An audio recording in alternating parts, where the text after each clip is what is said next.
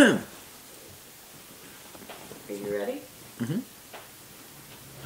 And all I ask Sarah, because I'm Yeah. super self-conscious, is if you just don't stand like right behind the camera. If I'm like, I don't Brit- have to, you know, I don't even have to look at you if you don't. I no, that Brittany did it one time. Brittany sat right there one time, and I was like, we're three questions in. I'm like, I can't answer any questions because Brittany's like staring at me like I can't think. Will you put this as the intro so they all know how weird you are? I think the word's already out.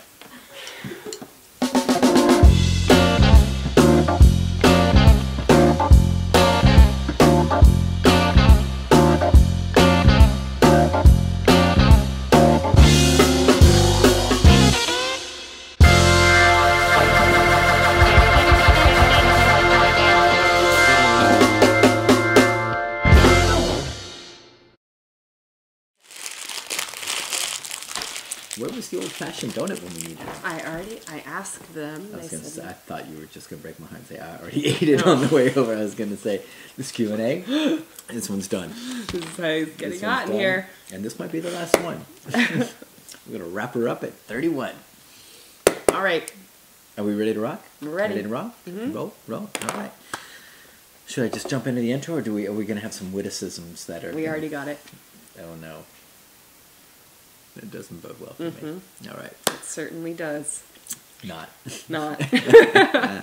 Hey everybody, it's Sean from The Good Dog, and this is the lovely Laura Morgan, and this, all of this grandness, Wonderfulness. all this wonderfulness All is The Good Dog's Q&A Saturday episode number, 31. is it go like that, or Yeah. should I go like this and you go there? No, it's backwards? backwards? Way, Okay, cool. I'm still learning this camera stuff. Yeah. One. Yeah. Yeah, cool. That's where you'll be in just a few months. Oh, Isn't you're so great? funny. How old will you be in a few months? 110. Anyways. Anyways. I walked into that one. Okay. I thought I could like take you off of the knees and. you And I just like lopped off your head. Yep, yep. It was all done. Yeah. All right. Don't let this youthful exterior and these these youthful hats fool you. A lot of a lot of miles on that. road. Seen some stuff, been some places, A lot of miles. right? You? Uh-oh. Uh-oh, we got a loose we got a loose dog. We have a shadow student right now, uh, Miss uh, the wonderful Miss Sarah, Sarah Prescott, Prescott. and uh, she's in from Massachusetts, and so she's working with a brand new green dog over there, which uh, her name is Leica, if I'm not Leica, mistaken. yeah. And uh, I kind of like her, and she's she's great, and uh, so Sarah's. I think a lot of people would like a her. Oh, so we're uh, working through that. Uh, ooh, I think that we just found the question of the day. I'm just gonna write it down whilst you entertain the troops. Okay. Um, I was hoping for a little more than that. Uh, okay. That's as far as you got. No song. I was getting to it, but it was a quick thing. like a Broadway kind of move right there. Is that? That's like uh, who's that? That's is chorus line. Is it you jump in the chorus line, right? I always think of like, um, All that jazz. no, uh, what's his face? I'm dating myself. The that blue, the blue eyes guy.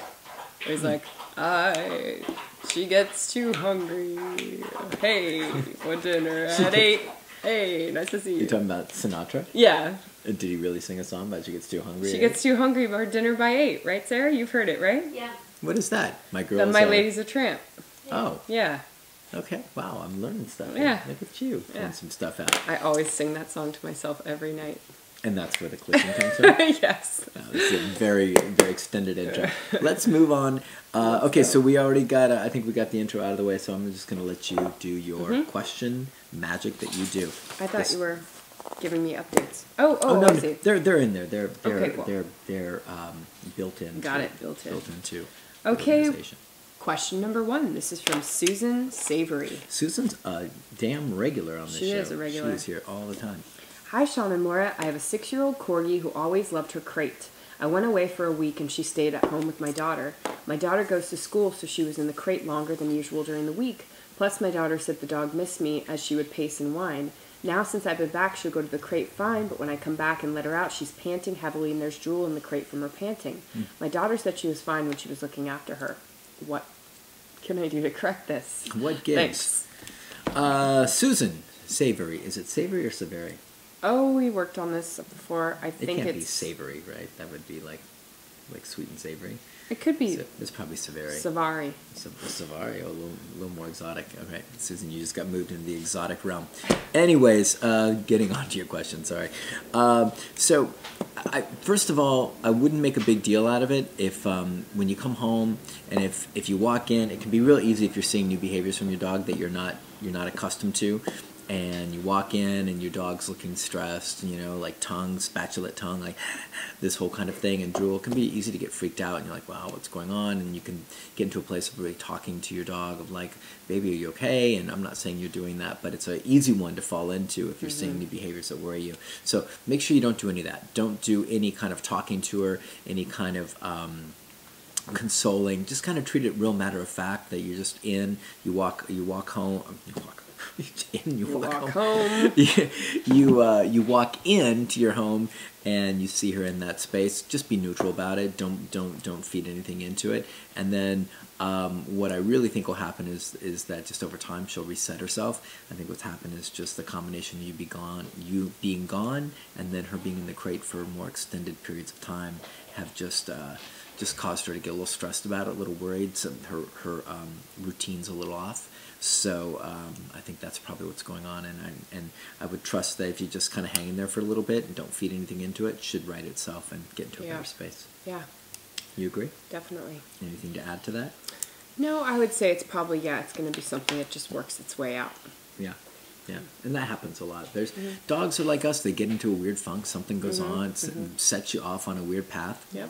and then it just takes time to kind of get yourself back back on on track susan we're out all right now we've got some updates and we can just read through them real quick Updates. Karen Thompson. We've got awesome Q and A Saturday updates. We've got Karen Thompson says, Sean and Laura wanted to give you an update on my e-collar dilemma with random working levels every time I put the collar mm, on. yeah, remember I that. have discovered if I position the collar on the top of her neck, I get more reliable settings. I've also tried my male's e-collar, which didn't make a difference. It's not the collar itself. Thanks for the ideas on this. Yay! awesome i wonder if she's saying like at the top like Yeah. up here like I like can't remember what laboratory kind of dog you have, style. Karen. If it's up here, my I, I would suggest just because that's strange positioning. I mean, it's, cool hard. that you're it's getting. also hard to keep it up on that position. If you're Yeah. talking, if you're talking up on, on the top of the neck, and you just mean the top of the neck, like up here, like here, really yeah, uptight, yeah. that I'm totally down with. But up mm. here, that's a that's a really hard one to keep Yeah. the e-collar in position. Yep. And um, So and you might want to get thick for contact points. I'm sure we talked about this, or longer contact points, or something. Yeah, we don't the know what kind of lines. dog she's got. Yeah, let us know. But I'm glad that you're having success. That's awesome. Yeah, but you might get hassled if it looks like some kind of laboratory implanted like test say it's a animal. GPS. say you love your dog. Yeah, it's a it's a satellite dish, and Okay. my dog feeds me radio signals while we're out. Anyways, All right. Let us know. Let us know what kind of dog you got, so Yeah. we can make sure there's not a contact point issue. But thanks for the uh, update. We up in the it. mix. Yeah, thanks. Yeah. And then our second update is Bethany Wilson Davison. She says, I wanted to give you guys an update from a nervous dog still grumbly in place command with people coming in. Remember that? Ah. Yep. Two weeks Was this of last week? I think so. It's not that long ago. Two weeks of working with just my husband and I at least once a day on front gate and knocking, then coming in. Hmm. I had a friend from out of town over this weekend and we were all ready for the ultimate test and not a peep from my dog. Hmm. What? Once I realized her after, um, released her after we'd settled in, she was her calm, friendly self without the in between battle. Our guest even commented how calm she was after not seeing Wow. um, him for a year. Victory! Thanks for the confidence and guidance, guys. You're the best. Yay! That's so cool. That's really, So really, cool. really awesome. That's the old sticking to it plan. Yes. Yep. Yes. So awesome updates from both Karen and Bethany. Yeah, We love awesome. you guys. Thanks, guys. Thanks for checking in. So cool that you check in and let us know what's going on. Really appreciate it. Otherwise, we're just talking to the air. Okay, we have. Question have number two. it's our old friend. Rachel oh. the bear. She's question number two. Rachel Bear says, "Hi, Sean and Laura. We have three dogs, two GSDs. Will we ever grow up? no, No, no, just checking. thirty-one next couple months. Right? And you'll still be Still be a baby. Rachel the Bear. Yep. it's your middle name that by any chance? Um, Sorry, guys. We have three dogs, two GSDs, male and female, and a Yep. BC rescue. I'm curious what you'll make of that. I was gonna say a boxer cub. Okay. that was the first. a border collie. I, I love I love when Laura has to break down acronyms for dogs. Uh, you know, usually the the famous one was the GSP, which was a German uh, German Shepherd puppy, and uh, so that was that's one of the all time faves for everyone. The first thing I thought of was boxer, and I was like, it's gotta be. a boxer collie mix. I said cub, a cub. It's a it's a puppy. It's a boxer cub Okay, so the male. from Rachel Bear. Of course, it's going to be a cub, right? a cub. Of course. Ma- All right, guys, let's get serious. The male GSD and boxer cub are best buds. The female GSD and boxer cub are nervous and unsure of each other. The female GSD, when unsure, will bite, usually if the border collie is excited, Nice and then work. the border collie will bite in reaction. I got some help over there. Mm. Inside, um, where energy is strictly controlled, we have gone many weeks with no bites and no problems. Outside is more difficult. My question is, what kind of things specifically can I do to help them make uh, be more comfortable with each other if the border collie is excited and eliminate the fear reactions? I can't always tell what specific behavior will provoke a bite, but I'm sure, pretty sure that given a choice, the border collie will avoid rather than bite. I'd like to have them all off leash and comfortable as a pack. All are e-collar trained. Thanks for any help you can give Boom, us. boom with all of them being e Yeah, trained. she's a badass. So She's great to like answer questions from like all these folks that have done all this Yeah, hard work. yep. Okay, Rachel the bear. Um, let me just jump into this. Uh, so, seeing as all the dogs are e-collar trained, you got a bunch of leverage. You're really like kind of way ahead of the game. It gives you a lot of options that other other owners wouldn't have. Yeah. Um, so, so I'll give you two two things that you can do. One, not my favorite, but is um, a little bit more of the low impact version, which is uh, manage the border cal- border uh, the border cubs, um, excitement, anxiety, stuff like that, and you, you can use the e-collar to just kind of keep the dog at a little bit more of a moderate level.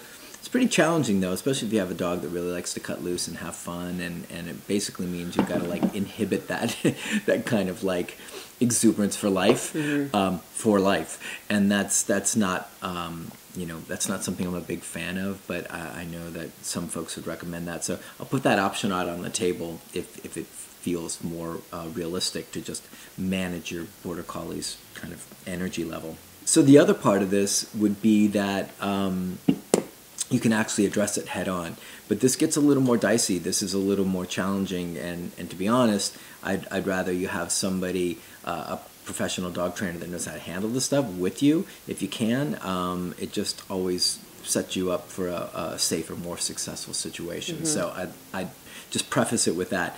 And if you're determined to try and take a shot at it yourself, then you just have to make sure that you, you really go to. Um, all, all the links to make sure you, you have safety precautions in order, which all your dogs are e-collar trained. So then I would suggest you muzzle condition at least the German Shepherd that's been attacking, um, and possibly the Border Collie if you think the Border Collie will reciprocate under stress. I know it reciprocates under full attack, but you have to decide if it will reciprocate under distress. Um, if that's the case, then they both need to be muzzle conditioned. Um, you can look up our friend Josh Moran's um, e-collar uh, conditioning video. Yeah, muzzle conditioning I'm video, sorry, yeah. yeah. muzzle conditioning video. Um, he's the named the, the barefoot dog trainer. Um, but just look it up under YouTube and you should be able to find it. It's a fairly straightforward approach to be able to muzzle condition your dog, which means basically that the dog is comfortable with the muzzle, not stressed or freaked out about it. And so you can actually start to work with your dog safely in situations without them being stressed or freaked by the muzzle, and you'll get more normal reactions. Now, that all said, I'd put a long line on the German Shepherd and I'd set up the situation where typically you might have trouble. Maybe it's out in the backyard or something like that, and allow the border collie to get worked up. And uh, the German Shepherd's got a muzzle on, has a long line on, and the moment you see that kind of like tension, that pre-tension, um, the stuff that you know is like, wow, that's the precursor, and we're like a, a, a hair away from, from trouble, or you actually see the attack where the where the shepherd goes after the border collie. That's when I would do a major correction with the e-collar, high level correction, and I press and hold. I know it's kind of like rough stuff, but we're talking about like keeping your dog safe and trying to move past like management. We're trying to create inhibitions, and um, this isn't this is not for everybody. And you'll hear trainers that would um, guffaw at, at, at what what I'm talking about, or, or have have a have an issue with it. But I know that if you can create inhibitions for her about her choices. So she's uncomfortable when the border collie is excited, and then she says the easiest way for me to deal with my discomfort is to attack the border collie because it, it helps me release all this stuff. Mm. But if you can actually correct the dog at a level that is is valuable enough for the dog, the shepherd, then the shepherd goes, I feel this discomfort when the collie is excited, but I've been corrected when I made a bad choice, and now I'm going to actually do better work, and I'm going to hold myself back and restrain myself. And if you do it right and you do it with a high enough correction and you keep everybody safe, you can really move through the process where the dog goes, I don't really dig the cut of that border collie's jib, Yeah. but I'll just hold myself back and maintain and manage myself. So that's a higher like more complex uh, and that would be a good one that if you're going to try and do it like if you want to do like a, a phone consult with one of us um, here that would be a, a good one to get like details about how we'd walk you through the process because like i said it's it's uh, it, it's a little more of a, of a riskier kind of interaction of course um, but you wanted to know like what would i do to actually try and fix it not just kind of like manage it and that's how we do it here we set those situations up we had a situation just like that today with the resource guarder that we had to work with with other dogs and and create that inhibition about mm-hmm. i know that choice you want to do don't do that choice anymore so that is the the answer to that did i did i cover everything Yeah. get into all that Yeah. okay Yeah, it's a little bit of a complicated one, but it is a complicated. That's what I was saying. If you would want to do like a phone consult, you know, um, that's something we could walk you through with a little more detail and or make if sure. you have a trainer that's nearby. yeah, know. even better if you've got a trainer nearby, grab grab them. But you got to make sure they know how to do this stuff. And if you grab somebody who's not a balance trainer, they'll they're gonna think that you're doing the worst thing in the world because they don't understand any of this stuff. So Yeah. cool. Cool. So let us know how that goes. And I mean, from everything you've done so far, you're you're pretty you're pretty adept at, at working with your dogs. So you uh, hopefully have a good shot at making this stuff work. All right. Question number three. This is from Lacey King. Yeah. Lacey says, Sean and Laura, I have a Hey, female Australian Shepherd who will be two years old in July. Mm-hmm. Knowing the breed about being protective of their owners and home, I've tried to do as much socializing as I could when she was little. She was so beat up and friendly. Wait, no, she was so upbeat. That's the best way to, to be. I mean, if you're going to be beat up, be friendly about it. no, I, I don't know why. All right. She was so upbeat and friendly. Yeah. Um, was always eager to see people, but now she has become more protective of her yard and while we're on walks. She barks at people when they're outside by our yard. She normally stops when I tell her to, but what I really want is help on our walks. When we're walking, she's good until we see someone walking or riding a bike. Then she starts to whine, then growl and bark and kind of pull towards them. I use a Halti because I push her stroller at the same time and she has no problem with it. When she sees the Halti, she knows it's walk time, blah, blah, blah. So basically, freaking out while on a walk. Yeah. Yeah, And Lacey. like protective, Yeah. kind of like just, would she say she's two years old? Yeah. Yeah. So that's the time when all Yep. the fun starts coming out. So uh, guess what? This Uh, is Laura's. corner. So, I, I can't remember what my, my acronym stands for here. Laura's. Laura's secret. su- Laura's secret surprise question. Oh, Yeah. the LSSQ. So Laura has to jump in. These is a new little thing we're doing here, where Laura doesn't get any prep. I have She to just- read the question. She just has to jump in. So I have to uh, actually pay attention. you can't just read stuff. So we've got we've got Okay. a border collie. I mean, uh, we've got We've got a, an Australian Shepherd, Australian Shepherd. two. Yep. Okay, so this to me is pretty easy uh, because you're just on a Halti. So a Halti, um, you know, you're gonna have some control, but you're not gonna have total control, and you're gonna you're not gonna be as connected. So you've got an Australian Shepherd who, in in what I've seen, Australian Shepherds, especially around that age, if they haven't had a ton of direction and they're prone to more nervous anxiety stuff, they're gonna become protective, which can lead to even worse stuff. Yeah, uh, they get super nervous. yeah, super nervous. So, what I would do is at least switch to a prong collar. So if she's a you know a small Aussie, actually I would just go with a medium prong collar, 3.0 millimeter. You can get it on Amazon or or uh, dog.com or you know Dog.com. That sounds familiar. one eight hundred petsupplies.com. Um, and then, you know, it the prong collar. You can go to our prong collar video and learn how to size and fit a prong collar It's on our website. on our website under free how-to videos. And then you can also learn how to walk a dog on a prong collar. It's also on our free how-to videos. Um, and if that isn't enough, you can move to e-collar training. Um, but I mean, you can start, yeah, start with a prong collar. If you feel like you're not getting with using the way the techniques that we say in our video, not just slapping a prong collar on a dog and just moving into it. Yeah, you got to watch. You got to watch how to how the, the the videos of how to size the prong, how to how put to it on, fit how to fit how it, to get it, the dog started on it, all the things to kind of and then there's up. the video of the walk And where then- it shows you how to do it. hmm and then correcting, you know, stuff like that. Um, the thing about this, honestly, Lacey, like what I would do is a full, go full e-collar, go all the I was way. hoping you'd go there. Of course. hoping you'd go there. I mean, yeah, I'm just saying she's on a Halti, so she like one step would be good. Yeah, I mean, you could even use a Halti and an e-collar. Yeah, sure. know. You could do that. Um, The problem is that the dog's just kind of like isolated from her, not getting information. you know what you should do? You should buy our e no, you should buy our prong DVD or go to our free videos and do the full prong foundation in our free videos. You kind of have to piecemeal. It's not as in depth as the DVD, but you can still get it from there. Um, if you want to go with the DVD, it'll go more in depth. One of those two things, one is free, one is not, but they're both relatively cheap. One is definitely One's cheap. really relatively really cheap.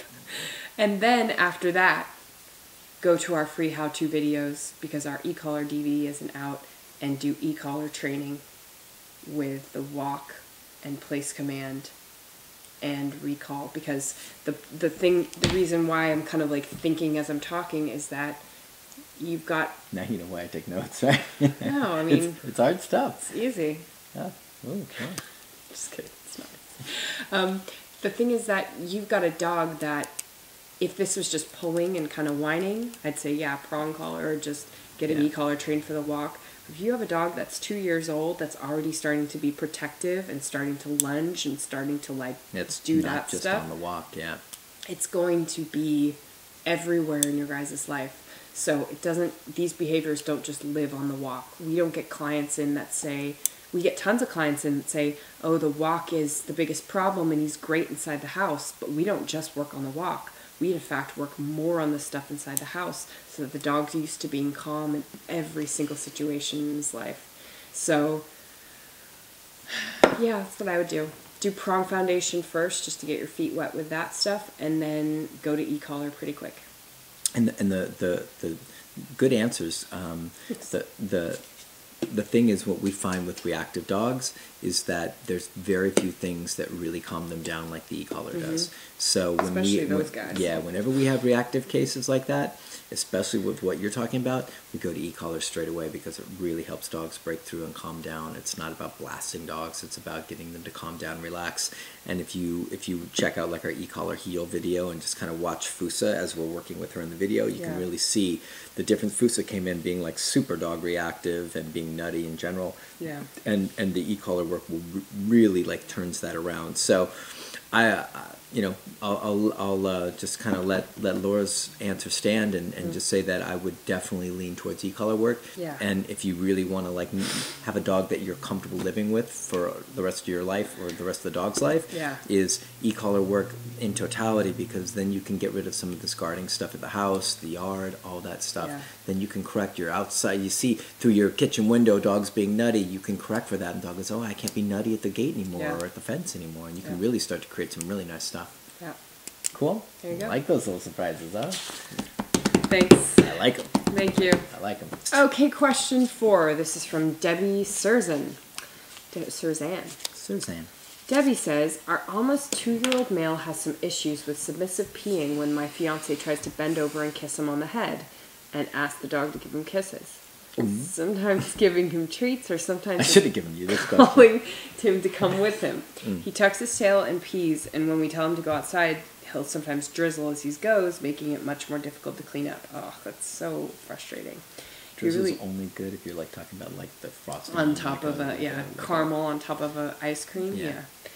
he does it often enough that we had to buy a carpet shampooer and it's getting really annoying constantly cleaning, cleaning up pee drizzle throughout the house we don't really understand why he does this or gets him to or how to get him to stop he's only done it to me a few times and usually if i'm giving him really good treat like meat or ask for a kiss first it's, Oh, my. most, it's mostly kisses It's mostly kisses. he does other tricks. It's just funny because it's like Debbie, Debbie, Debbie. Debbie. um, he does other tricks for treats with no problem. So no pee with with the I'm concerned that Debbie hasn't been a long time fan or a reader of our blog. Debbie. We're not calling you out, Debbie, but I'm just saying I'm I'm suspicious about how long you've been watching. He occasionally does an excited pee too when people come over. Although he's gotten better with that, would appreciate any advice. This is one of the, the tough one if you haven't been, you know. No, of course, the- and, and I'm just I'm just teasing. Yeah. But um, so what I what I'd suggest is that we stop kissing him. Right? It sounds really simple, but the thing is, you guys are you guys are prioritizing something that you enjoy. You enjoy that interaction and, and kissing him on the head.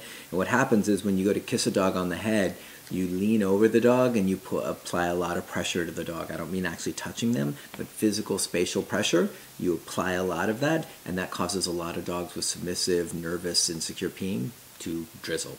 Yeah. And um, It's not comfortable for them. yeah. So my point is exactly what Laura said. My point is that we have to prioritize what's comfortable for the dog, not what's comfortable for us. So Mm-hmm. even though that's something really fun and you really dig it, and and your your fiance enjoys it as well, it's not something that your dog is enjoying, and he even may wiggle and do sorts of stuff. Mm-hmm. But at some point, when the pressure gets too much, you're seeing that release of pee, and um, it's it's not that uncommon of a thing and what you have to do if you want to get off the pee pee train is you got to just stop doing the stuff that causes your dog to be overwhelmed Mm-hmm. right so if that was my dog i would say okay i can't do that stuff at least this point in my dog's Right life now. right Yeah, it doesn't have to maybe be forever. maybe two and a half maybe three my dog gets over it and we can Mm-hmm. work through it but right now it's too much and he's just Mm-hmm. telling you it's too much i can't i can't even contain myself Yeah. so, um, so I would I would get rid of the kissing on the head. Um, I'd get rid of a lot of like big excitement stuff. And I mean, it sounds like so we've got like high value treats and meat, um, kisses. It sounds like it's a pretty like excitement, real like deeply like affectionate kind of interaction. And there's nothing wrong with affection with your dogs, but you have to make sure that it's not like that you're celebrating your dog so much that your dog is like ah Yeah, you have to make sure it's not undermining the dog's comfort That's- and where yeah. they're where they're going. So it doesn't again doesn't mean that it's forever. It may just be right now in your guys' relationship. still young. Still young. Yeah, that you guys need to like come off from that a little bit, apply give give a little bit more boundaries, make him more comfortable by giving him okay, this is where you know you can do some of the work that we we suggest was like place command, Yeah. making sure he's walking nicely on a walk, things like that. But all that sort of affection stuff, even though he may enjoy it, it also could cause things what we see like separation anxiety, dogs getting mm. so anxious and nervous, yeah, yeah. dependency, but dogs even getting nervous or like too much with the owner so that they're not social with others. So Yeah. we just want to make sure that you're not um, because we know you love your dog. We just want to make sure that you're not doing something inadvertently to to cause prob- more problems down the road. Yeah, yeah. Just from all the clues that you shared, it sounds like a lot of like, boy, we, we really like to do this with our dog, but like he's kind of like struggling with it. So it's it's we kind of have to adjust what Yeah. we're doing, like Laura said, and and I think I said the exact same thing, which is um, prioritize what's comfortable for your dog and avoid those interactions that are overwhelming him. So I'd practice more low key stuff. Doesn't mean you have to be a zombie, but it just means like, okay, we got this young guy and he's pretty sensitive and he's a little submissive. And when we lay too much excitement, too much like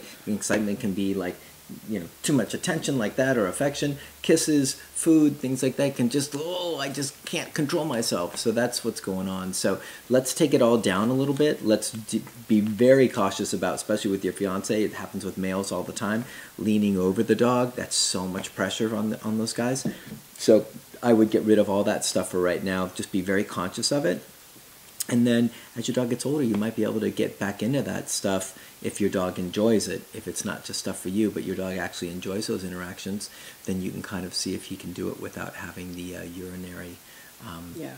dispensing, you know, going on. Yeah. So you kind of, it's one of those things that the reason I said like, oh, it doesn't sound like, you know, maybe you've been listening for a long time. I didn't, I don't mean it to be like harsh, but just that it's, it's kind of a very basic um, one of like, kind of we're just getting wrapped up in our own stuff and not really seeing what the dog Yeah. is needing. So, and, and it's a great question. I'm glad you asked it because now you're empowered to kind of see this in a greater context, not just with like the peeing, but also like, okay, how does how are all of our interactions working with our dogs? Yeah. Is it helping or How is it hindering? It's a good thing to always be conscious of for, Yeah. for anybody. So, thanks for the question. Yeah. Okay. Question number five. This is from Brianna Gordon. Brianna Gordon. Brianna says, Hey, Brianna.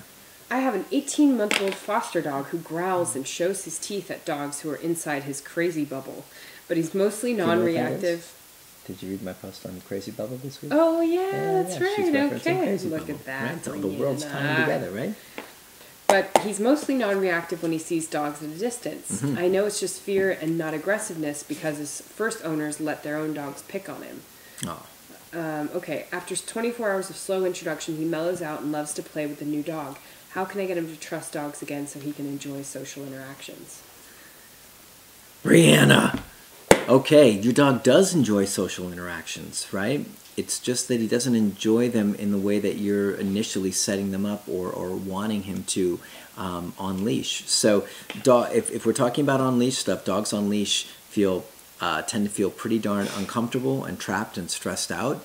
And if he's had past negative experiences with dogs, there's no better way for a dog to be stressed and like growl and show teeth and be weird than when they're on leash because they can't practice natural, normal behaviors of like, let me move around this dog, let me, you know, like do whatever I would normally do as a dog to feel comfortable. So you're going to see a lot of uh, more stressed out, anxious stuff, which is going to lead to worse choices from your dog. Yeah. But what you say is that if given 24 hours and allowed to warm up to a dog, he does really well and he's playful and he's really cool and all that. So the the upshot is that he is social. He just we, we kind of need to honor who he is and he's not the dog that that's that should be going up. We don't recommend any dogs on leash or going up and greeting unless you've got like besties that Yeah. you know in the neighborhood that your your dog and this dog are like, "Oh, we love each Yeah. other." But otherwise, that concept of like I want my dog to have a social interaction on leash is a really negative one for 99% of dogs. So if that is what we're talking about, I'd love for you to take that off the plate because it's not it's not serving your dog or honoring your dog. He's already showing you that those interactions are uncomfortable for him. And I don't mean that to be harsh. I just mean that we kind of have to let our dogs tell us what's cooking, right? We're like, well, I want him to have friends, but he's like, man, I don't like having friends like this. This is really uncomfortable. But if you invite the friends over for a while and I can get to warm up with them, you know, have a beer and have dinner, I get comfortable, and then I can like actually let my hair down and play with them.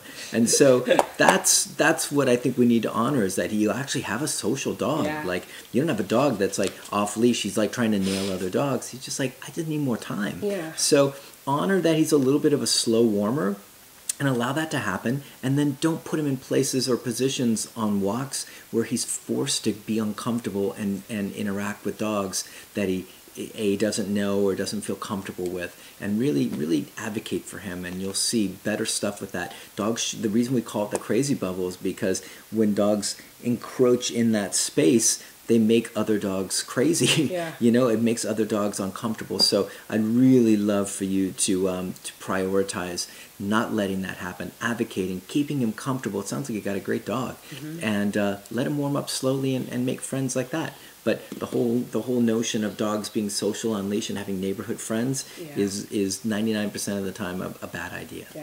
so that's Good. my answer to you Okay, question number six. This is from Danielle Flynn.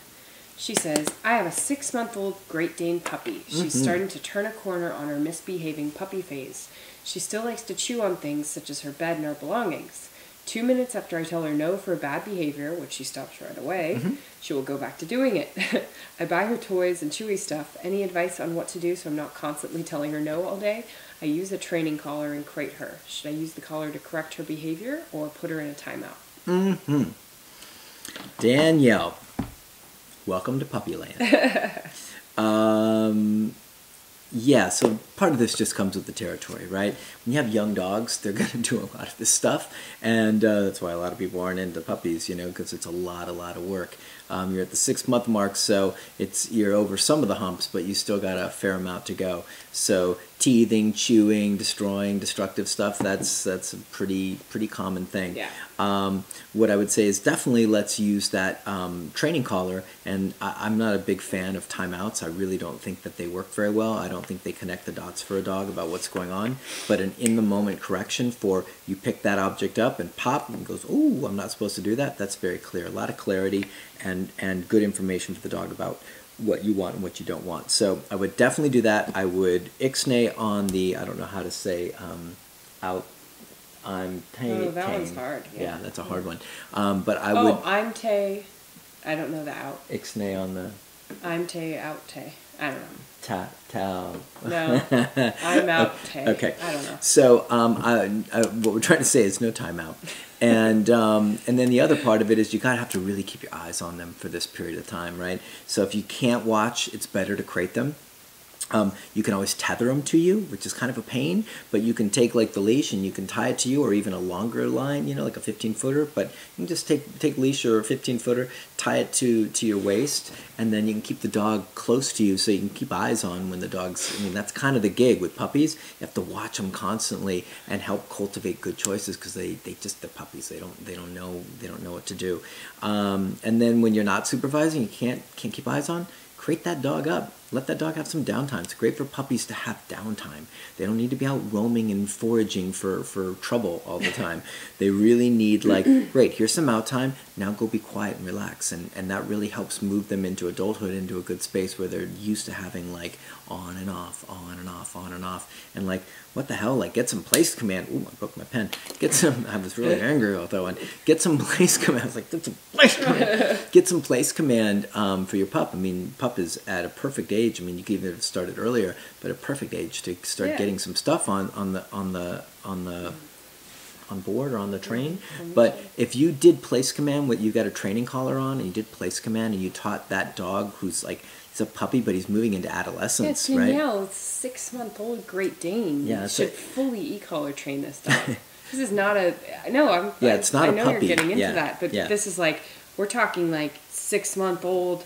I mean, that's like that's getting out of puppyhood, and it's a Great Dane. Yeah. Like you're gonna have, give you two months, and you're gonna have a wild, almost Ah! nutty young dog on your hands. So yeah. let's get. you Now's know, the time. Yeah, you might Yeah. as well. We we we'll do e-collar training on dogs this age all the time. Oh I yeah, mean, we'll start at four months. yeah. So, So- you're just doing low level training, and you're just doing it. You know, it's low level, and But she's not, she's really- not even really using the, the prong collar, I don't think, very Yeah. much from what it sounds like. So If it is a prong collar. Yeah, he said training collar, or- so who knows what it is exactly. But yeah, at six months, it's time to start shifting out of like puppy mode Yeah. and start thinking this is an adolescent dog. Yeah. and that means that big dogs like yeah, that, we got to so. really start start creating some boundaries and structure for that dog. Like most of the dogs that come in here have the same issues. They're counter surfing, they're destroying things, they're getting into trouble. We teach them a few simple calming exercises like place command, like duration place command. And so much of that stuff goes away, not just because they can't get to the objects, Yeah. because they're in place, but because they, for the first time in their life, learn how to self soothe and relax and chill out and just be calm. So, if you want your life to get better, use the prong collar to correct for any untoward action. You can even set it up, put stuff around them. Um, crate when you're not ready to supervise uh, or not able to supervise, and then teach a basic place command and like teach it rock solid with the, the leash and training collar. And man, you're gonna see this thing so much change so dr- dramatically or drastically or just dramatically. You're gonna see it like really change, and um, like a teeny bit of training like that will change your world. So that's unless you have something else to offer. No, it's good that you jumped in. Laura was like, to- "Decollar that sucker I up." mean, just like he's gonna be awesome. But he You're could gonna- also be a giant pain in the butt if you don't get a jump on this, That's what I'm right? saying, like- Training him at a year really is going to suck Yep. if if he's had a lot of time to practice negative habits and get in the get in the feeling of like, yeah, I can kind of do this, and mom all she does is warn and say no, and so there's not really accountability and there's not really rules here. Even though mom wants there to be rules, they're not really much that I'm honoring or respecting. So let me just see about chewing on the table or jumping on guests yeah. or growling at people. All sorts of stuff can go on. So let's do a little preemptive strike and uh, all the stuff we just talked about. But get on our website, www.thegooddog.net, and look at the free do-it-yourself videos, and at least, at the very least, get the dog place command. But if you really want to bomb, you know, like really make this nice, it's so easy. In like two weeks you could have them fully trained on, on the leash and prong. You could have sit down, place, uh, work on heel and thresholds, and like be like a different dog Yeah. Totally different dog. You haven't really given him enough direction, and I don't mean that judgmentally. I just mean knowing if you haven't done a ton of training, hasn't had a lot of Yeah. direction. He's just loosey goosey. He's like puppy, Yeah. like oh, do Yeah. this, and, oh, oh, on here and stuff like that. So All right. that's your answer. Cool. Okay. Question number seven. This is from Wendy Miller. Our old friend Wendy Miller. She's been around a lot too, right? Yeah, I mean, a lot of these people, They know, they Wendy. know where the good stuff's at. they know where their bread's buttered. I don't know what that means. I just said it. Okay. It kind of goes with. Wendy. She knows where her bread is buttered. Hey, how you doing? okay. I have two. I have two, two dogs, and they play well coexist together. Uh-huh. However, one of them, the submissive one, can sometimes resource guard. I feed Oh, them dear. separately, but if there's a crumb of anything left on the floor, she will guard it and start a fight with the other dog, and it can get bad. She'll also sometimes growl when the other dog comes near her crate. I do all the basics in terms you teach in terms of leadership. Both are e-collar trained, no reactive on the leash anymore, but I can't seem to get past her resource guarding issue, mm. which is only with dogs, not people. I've been working with her by putting her in the crate with the e-collar mm. on, having other dogs approach the crate with food in it, and correcting her firmly with the e-collar at the first sign of guarding. Good. Any other suggestions, or just keep doing these exercises? I like that you're being so proactive Yeah, and really going after it. Smart stuff. Um, so this is going to be very similar to what I recommended um, early uh, earlier today about the two dogs that get scrappy when the when the border cub gets a little bit lively and excited, and the The boxer cub. the German Shepherd um, Dobie um, goes goes after it. Um, so so here, here's what I here's what I recommend, and once again, this the same the same um, caveat or the same um, preface is going to be I'd prefer you do it with a with a professional if you can find somebody to help you that really knows what they're doing. That would be my my highest recommendation just for safety and all that. If that's not a possibility, then get back into um, into the the protocol that that I would do if your dog was here, which is basically we've got. Uh, We've got the submissive dog resource guarding around the other dog around food, crumbs, anything it finds. Um, uh, dogs are e-collar trained, if I'm not mistaken. Yes. Yeah, um, that means muzzle conditioning, just like our, what I recommended in the other one. So um, if the other dog is stable and it's just the submissive one, that's the main um, um, Aggressor. aggressor, um, then that would be the one that I would muzzle condition at, at the very least. And then I would keep a long line on and let the dog just kind of drag it around. and then I would either set situations up, which means like sprinkling some stuff on the floor when you're I mean it's really the best way to go is setting it up so you're you're you're really proactive and you're geared up and ready like consciously you're like mm-hmm. studying the scene and ready to move on stuff. And then see if you get any of that kind of stuff. Now your dog being on a long line and being muzzled up means that your dog's safe and can't damage the other dog. Mm-hmm. If you do the muzzle conditioning correctly like we said use Josh Moran's muzzle muzzle con- muzzle conditioning video and and really spend like you know uh, a week or two and getting the dog comfortable with it, then you're, you're liable to get a more normal response out of your dog um, than it being like shut down with the, the muzzle and being weird. So you get that, get a long line on, your dog can't hurt the other dog. You're ready. You've sprinkled like you can take some kibble and you can just like toss it on the floor and um, and see what you get. And if you start to get you know tension posturing like the precipice of the dog's going to go after the other dog or the dog actually commits doing after the other dog it's a high level correction. It's a don't do that anymore. It's i get that you don't like that. I get that you don't want the other dog there. I get i but it doesn't matter.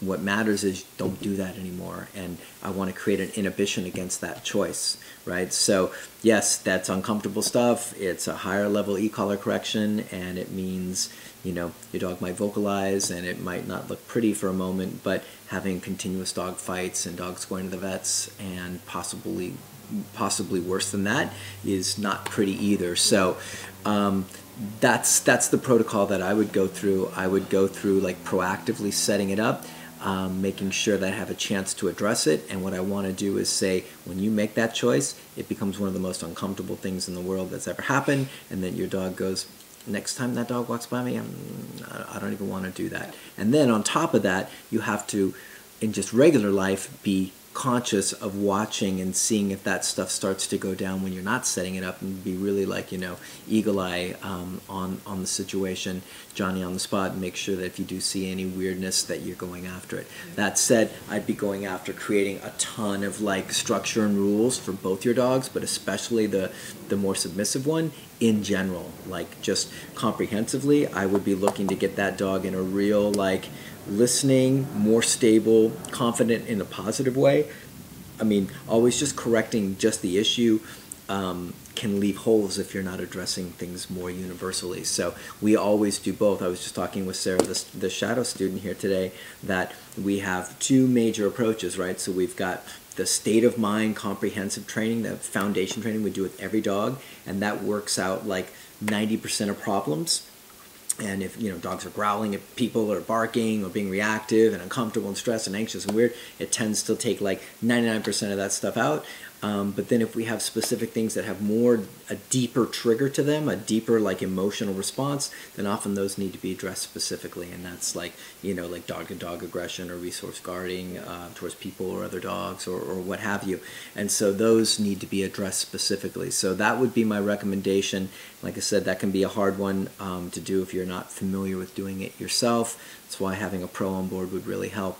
But the the truth of the matter is, if you want to get a dog to stop doing something that has a big, deep emotional like driver behind it, there has to be a uh, an equally deep anti-driver. You know, we have to create an, an equally deep inhibition about doing that, so the dog goes, I don't want to do that anymore, even though I'm really driven to guard this or clean this dog's clock. So that's that's the answer. Muzzle condition, e-collar's already on. Um, long line on the dog so you can control the dog just watch the situation, throw some kibble around, and when you get it, you go after the other, go after the dog that does it, and you correct high. And I, once again, I would correct for a couple seconds, um, holding the button, letting the dog know that's a real, real bad choice. Yeah. Um, and then if you think the other dog might redirect and go after the other dog, then you have to muzzle condition that dog too. Great. This is a this is an ugly show. This is the show of like serious business. I'm gonna get like labeled a bad guy. You already are. No, that's terrible. We are. We all are. Yeah. We just have to accept it. just accept our, our fate. The the truth is that there's not much talk, not much talk about this stuff No. out there, Mm-mm. and um, and I'm sure it's it, it, it will ruffle some feathers talking about this stuff. E-collars already have a bad yeah, rap, but but we're we're just trying to do our best to be honest about. just, I'm so How annoyed. can you do? No, No, you're so annoyed with what? I wanted to hear that. So I'm annoyed with. I'm just. people not being transparent about Yeah. it. it's- and- well, not even. I mean, transparent, but it's like, okay, like we're just. This is it. This is what we got. This is what we're doing. This is what you guys are doing and having great success. Ever, you know, hopefully the the the you know landscape is changing. Is that the right word? That could be the right word. I mean, our gardener's going to be here tomorrow, and he'll he'll make sure everything is cleaned and tidy. So, What's the um, word I was looking for, Sarah? Yeah, The- la- landscape. The landscape or the the dynamic of the world is Yeah, yeah, yeah. shifting to You could say being more landscape. okay. Yeah, yeah, yeah. I was just making fun, giving you a hard time. Yeah, uh, it's it's tough stuff to talk about, and um, and that's it's definitely stuff that I would love to have a pro on hand because it's Yeah. it's more challenging work. But I know not everybody has the access to somebody that they trust, that they know knows how to do this, um, or has them close, or has the funds for it. So I applaud everybody trying to do their best work. I just want to make sure everybody's as careful and cautious as possible. And as long as you do good work with muzzle conditioning and you got the right muzzle fit and all that good stuff, there's a pretty high level of safety going on, Yeah. right? To where things can only fall apart so much, and then a long line obviously helps you, like you know, control the dog while that stuff goes on as well. And so these are kind of advanced maneuvers, um, but we're, we're we're working really hard to try and empower people with as much honest uh, information as possible about what we've seen work. So, cool. Is it landscape? What environment? Um, So like you know in the no, you would you could say like the dog training This landscape. Stuff, look at this stuff. This- You're seeing the. No, like, it's- You're seeing it changing, right? Yeah, but it's like the No, I, I mean I think you, I think the word's right on. I think just you're thinking about it too much, and it's becoming a different word now. Yeah. we gotta speed You this gotta- up. come on, ladies, speed it up. Question. Where are we? I don't know. Number eight. What did we do, Wendy? We did Wendy. Yep, we need Kim Bergerson. Oh, okay. Kim Bergerson says, my question number eight. Yep. My dog seems to be more aggressive on leash when she sees a stranger than off. What? What's up with that? What? Kim, that's crazy talk. Yes. Um, okay, so it's not crazy talk. No, it's, it's real not. talk. Ready for real talk? yeah. okay. Real talk corner. Where's R. Kelly when we need him for real talk? Um, anyways, dog is more aggressive on leash around strangers than off. Uh, what's the deal? It's a real common situation, right? So leashes make dogs more stressed out. We were covering this with another question earlier. Um, dogs are trapped, right? So they're stuck on leash. So if a dog like imagine the dog was just like freely walking with you and saw somebody and didn't like them. The dog could move like two three feet around could walk away could move around create space and bubble a bubble himself and then feel cool. But he knows he's on leash. He knows he's got to now walk by that person and so that creates accelerated or uh, i think accelerated um, exacerbated stress or you know higher levels of stress which cause dogs to get freaked out and then bark and do all that stuff. So the the being the being stuck or trapped on leash is a part of it. And then another thing we see when dogs are on leash a lot of times especially if they're not getting enough direction and um, kind of like firm leadership and, and, and, and, and rules on the walk and in other contexts, we can see uh, protective guarding stuff go on, right? So if the dog is feeling loosey goosey and nervous, and then somebody comes around, he's on leash, and then all of a sudden your, your walk, your little bubble on your walk almost becomes like moving territory, right? So you know how dogs will get territorial about like you know front yard backyard your front door windows and things like that. Well you guys on this leash become this little bubble of like hey this is our moving front yard. And then so you get dogs that are starting to get weird about that and then get they can get protective as well about that stuff. So that's the answer. We got the leash issue um, which makes them stressed out worried not as safe not as confident. And then we've got um, what was the other part? Um, and then we've got the protective part of that um, which can also exacerbate things. So the best way to, to, to fix that, because we most of the dogs come in here have that exact same issue, is to walk your dog in a structured fashion using the right tools, leash and prong, or e-collar, or both, depending on what your needs are, um, and have your dog walk in a structured heel and give him information with corrections about don't bark at that guy, don't do that, and that stuff goes away really quickly if you use the right tools and use the right approach. But if you allow your dog to be like, there's a guy in our neighborhood who walks, uh, nice guy I'm sure, but he walks his dog on a on a harness, and the dog is like looks like a young kind of mix, like I don't know, 50, 60 pound mix, and I can see in the dog's eyes how desperately the dog needs a little bit of guidance and the right tool, but because the harness is there, the dog feels emotionally and physically disconnected from its owner. And what he does is every time he sees somebody, he gets tense and he does this stuff. Dogs walk by, he does the same thing, and the owner's like, oh crap, I gotta move him away, and he gets worried about it.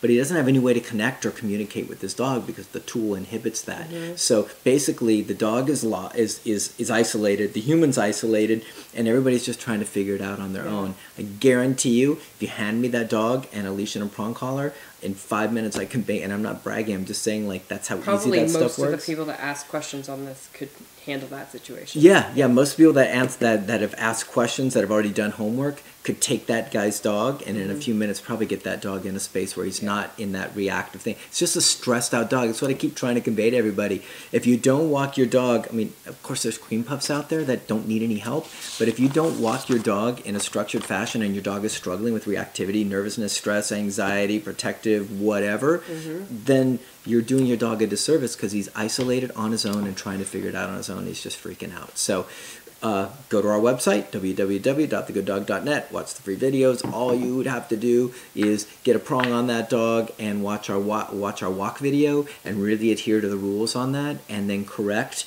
for any of that stuff. And if your dog is a more serious customer, get the e-collar on board and the same rules apply. Strict heel, strict rules about how the dog walks. Dog starts to get barky, huffy or anything like that at somebody, correct and say no. And your dog goes, I can't do that anymore. I feel more stable because you walk and tell me what to do. Thank God someone showed up. Mm-hmm. Now I can just relax and chill out on my walk.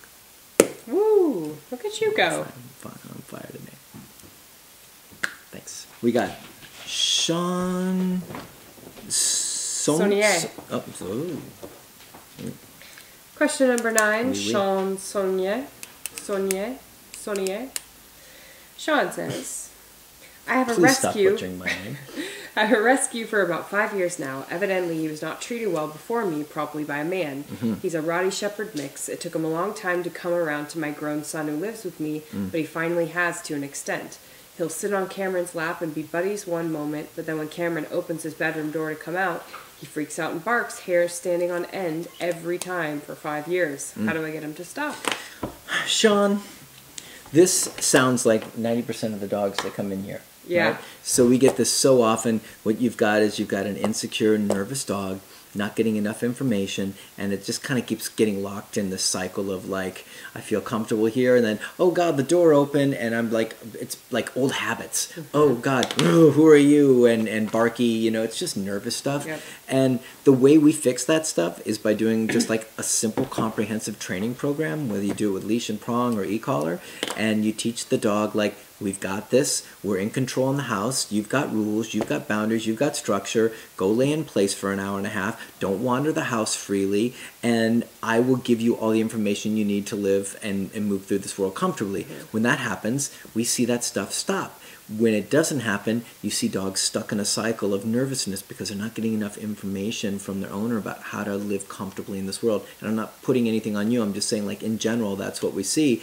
And then we see it regularly, uh, consistently go away with just some simple protocols. So if I was you, I would just, uh, you know, it- it's either leash and prong uh, from from our from our standpoint. It's either leash and prong program, sit down place, um, and and and heel, or it's an e-collar program, sit down place, heel, and then you get the added really good thing of of uh, really reliable, dependable recall, and then that can really change the game when the leash is gone and your dog is super responsive. So this involves a little bit of training. If this is a big priority, if you really want to move your dog through it, if it's a small annoyance and you're like, yeah, it's really annoying that he barks at my son, you know, like consistently, but you don't feel it's dangerous and you're not motivated, then it's going to be hard to kind of jump into a whole program. But if it's a pain point and you're like, man, I really want this gone, then either get a pro on board to help you that does balanced training or get our prong collar foundation dvd or get into our do-it-yourself um, free videos and really jump in and, and do it yourself and if you do follow those simple things those simple protocols like read the blog and that stuff mm-hmm. and this stuff is all like that's why we put it all out there so you guys can do it yourself and solve most of these issues because dogs like that they're not serious customers. Mm-hmm. They're dogs that are stuck and nervous and they just need some more help.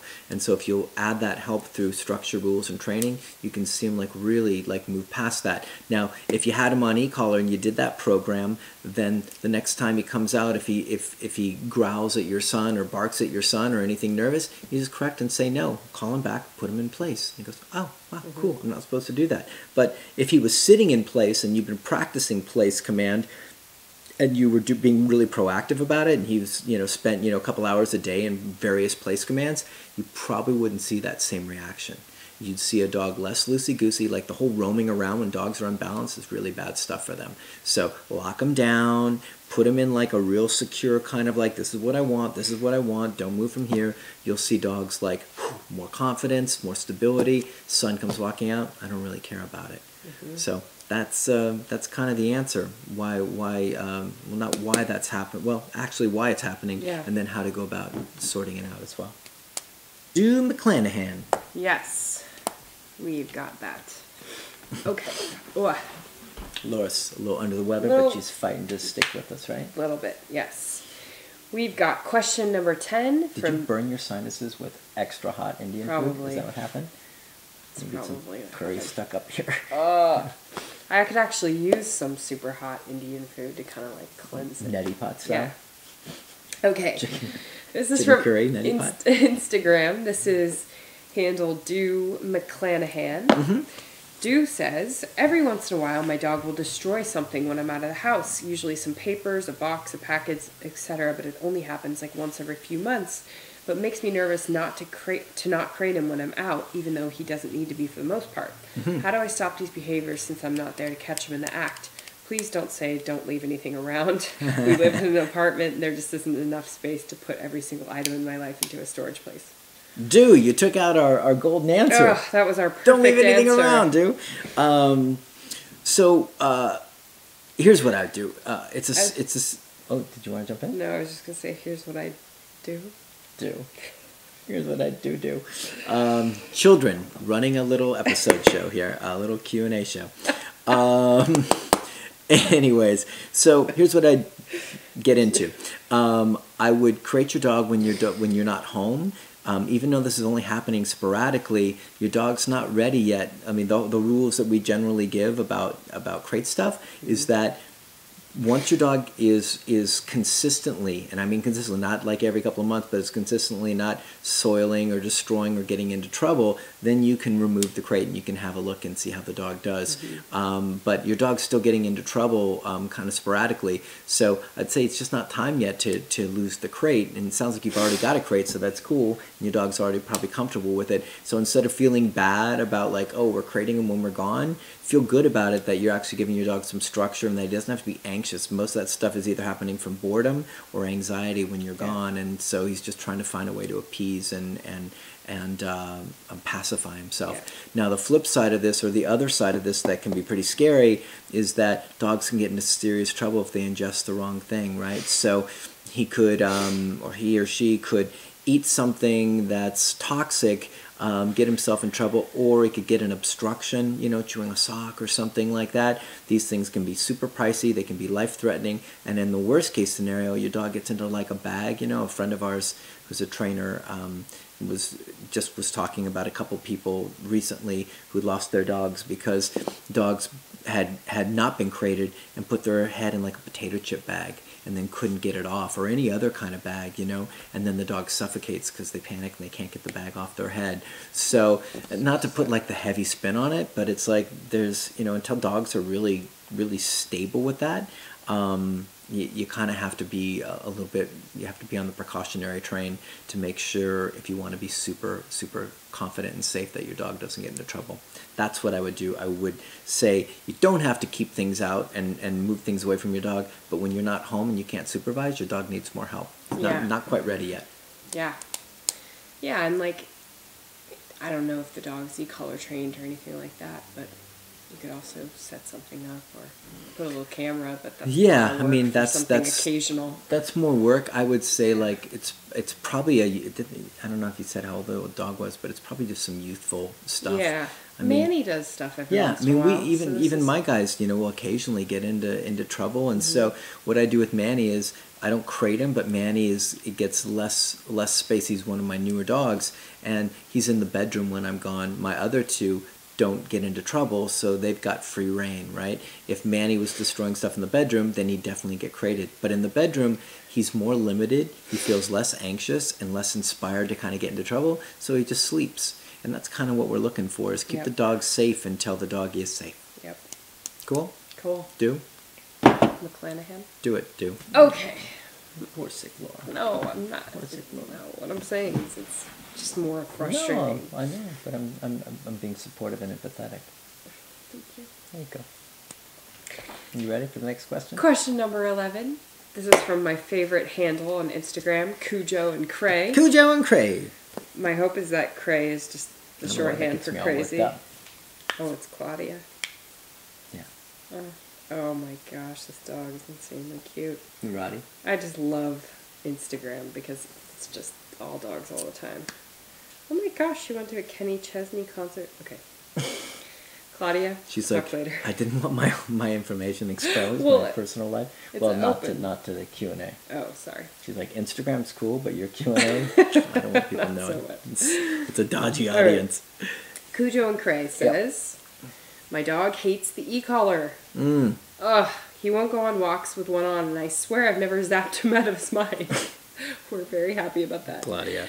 I do low level collar training with him, and he's fairly obedient but leash reactive towards dogs when walking. Mm. He'll wear it when we go in the car and the beach, but not for walks. He just goes and lays down once I put it on. Mm-mm. Claudia. I thought at first, sorry. it was too tight, but I still could get two fingers under it. Could he just be that he just doesn't like to walk? I can't really practice training his leash reactivity unless he'll walk. You guys are awesome. I wish you could send I could send you care packages every week. LOL. Aw. Aw.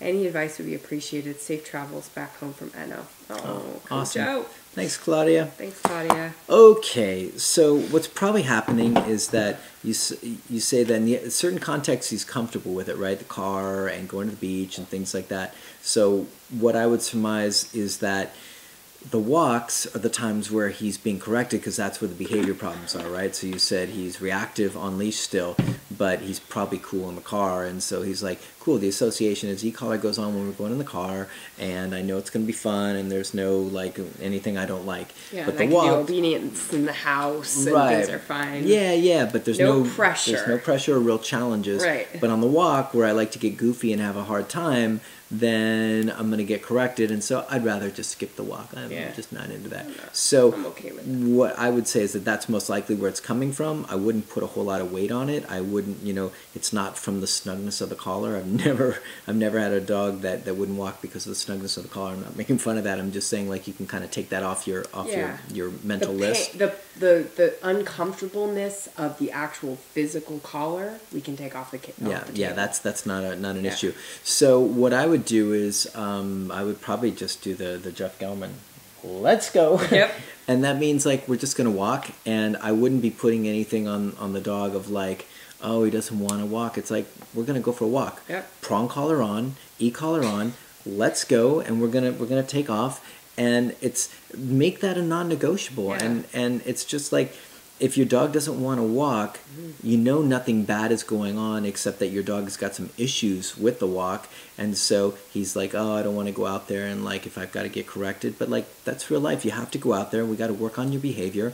Um, we get dogs all the time that have you know never been on e-collars. We got lots of reactivity stuff and we have to work them through reactivity. And yes they get corrected for getting nasty with dogs Yeah. but they all go. Even if they don't want we're going to go. And so the more the dog feels it can push back and that you're like oh he doesn't like the walk anymore the more he's going to be like cool i'll just sit here and, and Yeah. do that and we'll skip this thing because i don't like going to school right but it's no we're going to school we're going to do this until we get this right Yeah. and what'll happen is as his behavior gets better and better and better and he learns the walk is non-negotiable he'll stop being like let me see if i can not go for a walk and he will be getting less and less corrections because he'll be getting better and then it'll just be what it is and it'll just be a, a better walk in a cool situation so It's kind of like a kid that, like, doesn't want to go to school but is happy to go to like IHOP and chuck e cheese Chuck E. Cheese and Yeah. that sort of thing. Like it's Yeah. kind of that's a really broad example to compare it to, but it's got that same thing. We get dogs we see all the time that owners are like, yeah, they they're like happy to do this. They're they're totally cool with this, but then in this situation they're not. You know, and since we can't like see maybe manipulation in dogs Yeah, quite the same yeah. way, we get we get confused. But I would say that it's less about the is your e-collar. suspicion that there's a bit of a manipulating dog going on here Well, I mean, no just gut instinct Gut instinct, yes. Yeah, I me mean, the, too. the gut instinct is that this dog is like, no, I don't want. If if you're gonna control me on the walk, then no, I don't want to go. Yeah. It's got that kind of flavor to it. So because usually like really soft soft dogs aren't super reactive on walks No. really soft dogs are would be like nervous but they're they don't tend to be like really demonstrative and reactive so you tend to get like you can have anxious nervous dogs Sure. but that they're very reactive but not usually like And- and if- soft compliant dogs yeah, and if you had said like he hates the e collar, he's perfect in every way, but hates the e, you know what I mean? Yeah, then yeah, then it'd be like, oh, that okay. Maybe there's like a sensitivity issue. Maybe you need to go way lower than where you are. Maybe we need to have the collar on at all times. Maybe there was bad experience before that you don't know about. You know, Yeah. that, none of that's real. But the fact that you said like he hates the e collar, he's leash reactive. It's like, oh, he's being a jerk. Yeah. He doesn't want to be controlled. You Right, know. right, right. So it's the one tool maybe that's finally broken through to him. We see the same thing with prong collars. Oh, we yeah. see a dog like oh, and people will people will infer that oh, the dog doesn't like the prong collar. Oh my god. he's scared of the prong collar. It's Yeah. making him worse. It's shutting him down. The dog's like oh crap, I can't do what Yeah, I normally do what I normally this do." stinks, right? And it's like too I bad. have we a funny story with that. yeah, lay it on the- lay it on us. Like, so Polar Bear was the first dog I ever saw put on a prong because that was my dog that Sean came He to was help me always with. in your hair. He was always in my hair. Um, Little polar bear, always in my hair. So he he was the first dog I ever saw like be put on a prong, and Sean warned me before because polar bear was, let's just say, wasn't King of brats. yeah a king of bratty like a hole behavior stuff. Sorry, I'm glad you the said language. it. Glad you said it. Yeah. Glad you said it. a hole. So, and he was like eight months probably when you were working with him and too. biting everybody. So let's Yeah, be like- clear. What, let's let's define a, a, a hole. Yeah, yeah. A hole means like stalking you around the house to bite you if you come out of your room. you if you're like, eating pizza, you know, on on your table, like coming over, grabbing the pizza, and then like guarding it and biting you if you try and guarding take it the back. water. We couldn't go. We couldn't walk in the kitchen when he was drinking water out of his bowl. Okay, That is- that fits into a hole category, right? And then biting the crap out of her on walks too. yeah. Yeah. So, but the so the first time that I saw him be put on a prong, Sean said, you know, because he knew what kind of dog he was, he said, you know, uh, you might get some protest stuff. You might get alligator rolls because he was used to just running the walk. You might get, you know, I might get alligator rolls. You might go Crocodile up on the. rolls. I call Oh, I'm sorry, crocodile rolls. rolls. Be clear. I might come up on the leash. You know, Yeah. he might come up on the leash, do all this stuff, and I was like, oh, okay. And then he did all of that, right? Times ten. Times a million. Yeah, and Sean was like, wow, and and, And I just like, sat there and watched, right? Yeah, Basically, literally we just- just sat there and he just like Yeah, yeah. As soon as, as soon as he felt the prong, century. he was like, "Oh God, this is the end of my reign." Yeah. Oh God! And then he was reign. like, "Maybe if I spin, roll, scream, and, and bite the leash, this thing will pop off and we'll be back. Right, we're good. We'll be good." But then the funny part about this was that I thought that every dog reacted to a prong collar like that. So when I started working for Sean and we started like working with dogs on prongs and putting them on prongs, and I remember this one, the first dog that I saw after that, that he put on a prong, he put it on the prong and didn't tell the owners like, oh, there might be crocodile rolls and stuff, and I was like, Oh God! I was like, we didn't we didn't let them know how it's gonna be. And the dog, of course, was a sweetheart and was like, oh, prong collar, da, da, da, no problem. Yeah. But I was like, wait, don't all dogs go crazy when they get on yeah. a tool? So what did you what did you glean from that? exactly what maybe perhaps Cujo and Cray are going through. Which is a little attitudey stuff. We're we're we're you know we're making some leaps here Yeah, because we don't we don't know, but that could definitely be part of the situation. Is that you've got a dog who's not digging being controlled for the first time. It's just like oh, we'll, we'll just sit this walk Yeah, out that's because not- uh, yeah, it's I- not I- I- happening for me. Yeah, you you you tell me what to do, or he could be a little stressed out about it, right? So Yeah. he could be a softer dog, and he could be like, oh, I'm stressed out because I go out on the walks. I don't. I'm not doing well with dogs, and I'm getting corrected, and Yeah. that bums me out. Either way, I would just say, like, I mean, because you could be like, well, let's recondition him to the e-collar and feed him donuts every time we, you know, take him out on walks and stuff like that. But I really don't think that that's going to help because No. what's happening is you need to correct him for that behavior and he needs to be accountable and Yeah. compliant. So we kind of need to like train him fairly, hold him accountable, and also say like it's not not Yeah. not negotiable. We're going for this walk. So I would just jump out there, make it happen, and I'd say in a in a I was gonna say in a couple months, but it might even be shorter than that. If you're like really like, hey, we're just going, let's go, Mm-hmm. you'll you'll find that you're this guy will most likely just give up that resistance Yep. and be like a walking dream. Yep. Cool. Cool. Okay, question number 12 from Instagram. This is our final. I know we did an extra two, but that's because we skipped a week. That's because we're giving. We're oh, we're giving. We're yeah, givers. we're givers. Yeah. and right. um, givers give. We really do. We give a lot. Okay, so question 12 from Soccer Sora on It's a Instagram. long one. It's actually It is. I'm gonna, But it's I'm really gonna- cool. So what I want you to see is that Soccer Sora wants to become a dog trainer, wants to go to T three. Is really inspired. So you, you should read a little bit Yeah, of that and I see will. what's cooking. Okay, I know. I, no, it's a good one. Hey, Sean and Laura, I know you get this a lot, but thanks for everything you do. Aw. Yeah. The thing that motivates me most and I love about your videos is the personality. You guys have a great personality. Aww. And are always in an upbeat mood and it's super contagious. That's so nice. Isn't that nice? We are, I mean, it's not put on, I'll tell you that much. We eat a dozen donuts right And before just we like- start. We're just like, mm, train your dog, train your dog. no.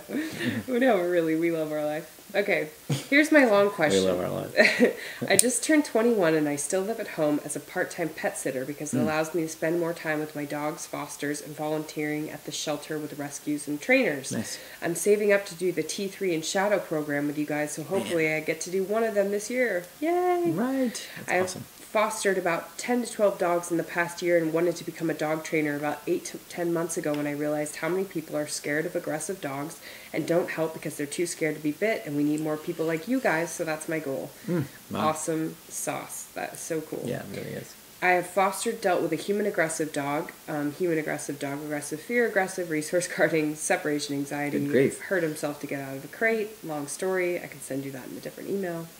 Um, I'm volunteering with some local rescue shelters to help out with an aggressive dogs because they can't afford trainers, and even if I can't fix the aggression entirely, I can at least fix the re- leash reactivity and foundation, everything with your videos.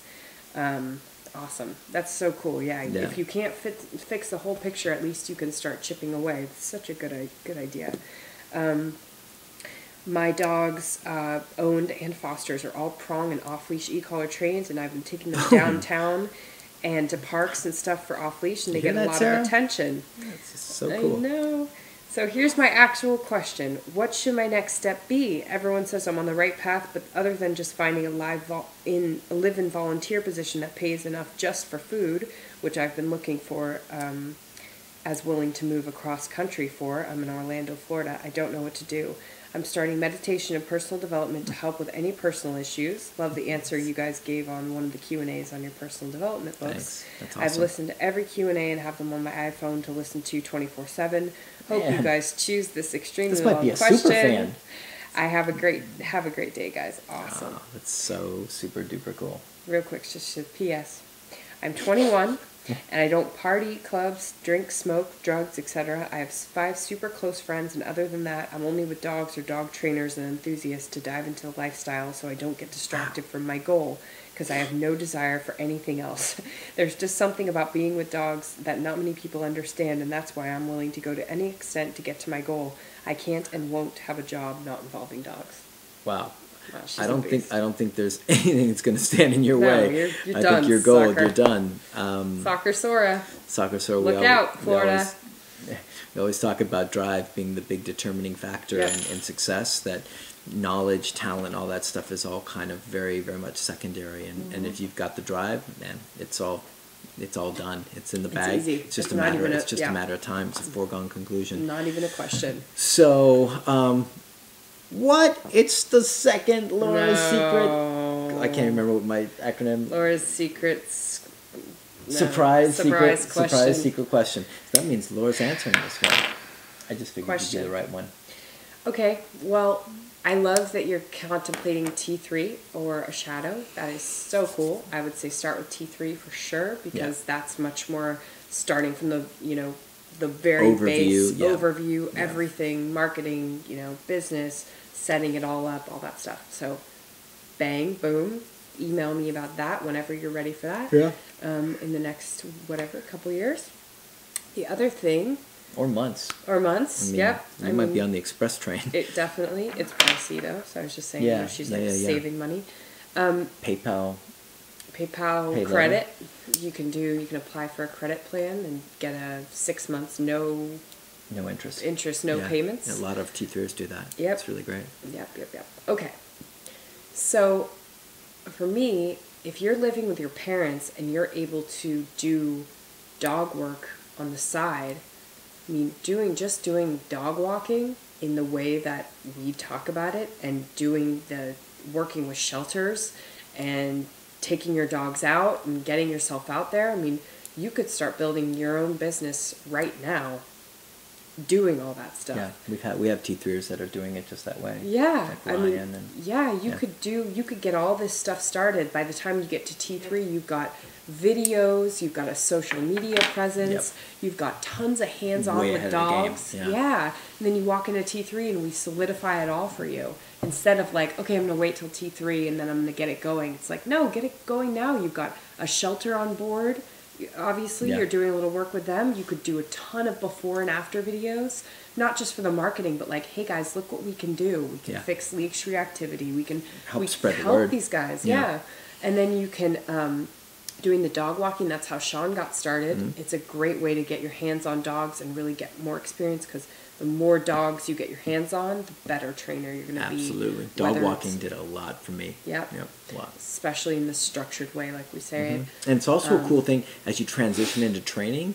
uh, a good way to like financially do some dog walking and then training and you Yeah. can kind of like in, until you can get into a full training thing the dog walking can absolutely help sustain you financially Yep. um, i was just going to say you might want to i don't know if if, if it's is it female I think soccer Yeah. Sora. I don't know. Maybe. so uh, soccer store i don't know uh, um, if you're familiar with uh, with uh, Tori Smith. no, well tori smith but um, junior mendoza Oh, Nelson. Nelson, Yeah, yeah, yeah. right? So just just to kind of like, if you're not familiar with Nelson, just to kind of set some parameters up because you're 21. Nelson is He's 19 now. 19, Mhm. and uh, Nelson came to T3 at 18. 18, 17, 18. 17 or yeah. 18, and had his own business running up.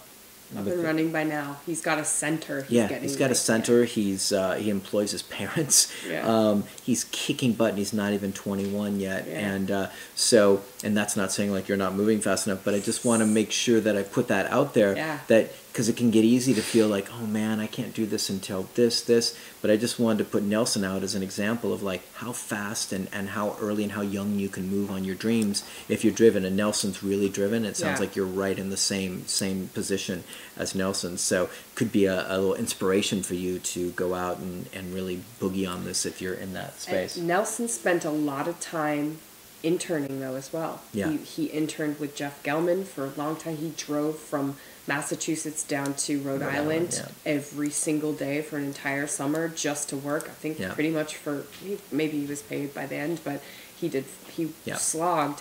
And I'm not saying that that you know you have to find a situation like that, but that's just that's you know part of his thing was really creating drive just by doing a lot of that stuff. I was gonna say you know, you've got Tori Smith in Winter Springs, Florida, who's a amazing uh, trainer who, And person. and amazing person. She actually, Tori. yeah, She's she, part of the T3 family. She, she's a grad, but she also works for us too. She also works for T3. Um, you should contact her directly or email me because she may, you know, she's just a great mentor in general, but also like. I- would just try to, if you're really looking into like interning or finding some sort of, you know, semi-paid gig, like Tori would be a great yeah, one. definitely one to check in with. Yeah, Jeff Gellman might be one. Just if if you want to reach out to Tori in in Florida and tell her that give her your question that you gave Mm. us and see she may not be looking for anything, but at least she's someone in the area that um, or in the state that could be you know a good mentor for you. But also you can email us. Um, we're the Good Dog LA. No, I'm sorry. The Good Dog- Dog dot la at gmail.com. Um, email us if you want to follow up on this, and maybe I can put you in touch with some people that would be loving to have someone like you on the team, even for just a couple months to get your feet wet. Yeah, we'd love to help you. I mean, Yeah. anybody that's got that kind of drive and Nah. determination to go, we'd love to You're help get you going. So, pretty awesome stuff. Exciting stuff. Yeah, Yay. and and nice, nice all the different things you added, all Yeah. those little things about the disciplines and not Yeah. drugging and clubbing Yeah, and all those awesome. distractions that can really derail people's lives and careers. They're like, oh, it's no big deal, and all of a sudden they're I'm 27. 35. Yeah, they're like, oh my here?" gosh, I'm still in the bathroom throwing up. Like, Yeah. give me a break. Hold my hair. so uh, that's what girls say. Right? They do. Right. They do. Good, good friends. Yeah, But um, friends, but yeah, so super, super proud and impressed by all that stuff. And I would just, I just recommend you, you just get rid of any outside like parameters saying like, oh, you can't do this until then, and just rock, go. Yeah, go, go. go Reach it. out, email Laura. And then she'll put you in touch with some people that might be able to help you move along, Mm-hmm. move move forward, and get some stuff going. And hopefully, we'll see you someday at T three Yeah. and then we can really rock and roll with that as well. And you can always shadow, you know, Jeff or me, whatever. Yeah. Of course, here you get Laura too, so it's a bonus package. Well, Well, I'm just saying. Anyways, All right. So this has been the longest episode of all time, right? So we're gonna have to get out of here. Uh, question of the day: We have a dog here, uh, a rescue dog that you can't see that looks like a boxer, American bulldog, pity something mix, and she's sweet as pie. And our shadow uh, student extraordinaire Sarah is over there working on place command, and, and the dog came in with zero training, and so uh, her name is Laika. And so the question is for you history buffs out there: Who was Laika? Right? There's a you know, I might be might be showing my age here, but uh, that's okay. I'm, I'm willing to do it. Laura, do you know who Laika was? Yeah. Okay, so showing my age and my wisdom. Um, so that's the question of the day. Who was Laika? I know you guys are going to know this because you're smarty pants.